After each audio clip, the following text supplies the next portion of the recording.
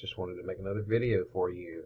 Um, decided to change up the background a little bit. I'm a Deadpool fan from back in the day, way before the movies were ever made, um, just from reading the books. Um, decided to give Wolverine a little break. Those are my two favorite comic characters, are Wolverine and Deadpool. Something about the healing factor, um, superpower that they have. But anyway, um, we're going to talk a little bit more about angles and lines today, um, but I did want to show you something, um, the way these things are usually presented to you guys. Um, in these kind of pictures like this, um, they, they you'll a lot of times you'll see like a group of lines or line segments thrown together like this, and then they want you to talk about the relationships between different lines. So that's kind of what I wanted to do today is just kind of talk briefly about um, some of the relationships between these lines when they kind of throw them all together like that. It's kind of a jumbled mess. Um, so, for example, if I were to look at line K, okay, which is that line there, not that squiggly line, but that line. Um, when I look at K, and then I say, well, what can I identify another line that is perpendicular to that line? All right, so what I would do is I would look here, and I don't see any of those little boxes that we talked about to show the 90 degree angle. So I would be very questioning of, is this actually a 90 degree angle? It looks like it. Um, it's not labeled the way it should be, but it definitely looks like it is. Um, and so I would say that line K and line M are perpendicular to each other. All right. Also, I would say, um, give you the question of, you know, which two lines within this picture here are parallel lines. Now remember, parallel lines comes come in sets of two. You can't have a single parallel line. You have to have two lines. Same thing with perpendicular lines. You have to have two lines to be perpendicular. So what two lines are um, parallel in this case? So if you look at that, I'm going to say, well, I think that if I look at M and I look at L, okay, those two lines appear to be parallel. So I would say lines M and L are parallel. So that's what the question actually was on this problem was, you know, in which line is parallel to line L. So there's L, and we would say that line M is parallel to it. All right. Um, also, you could say, well, you know, where, uh, what are some lines that are intersecting? And there are a bunch of intersecting lines. I could say that line T and line P intersect, okay, because they intersect right there. All right. And I could also say that line T and line L, they intersect right in that same spot. Okay. The same point, I should say.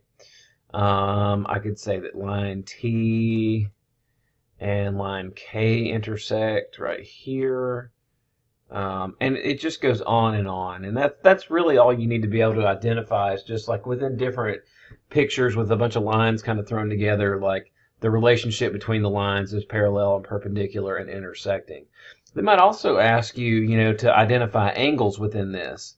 Um, so I might say that, oh my gosh, I don't know. I don't know how I want to do this. Uh, let's get rid of that.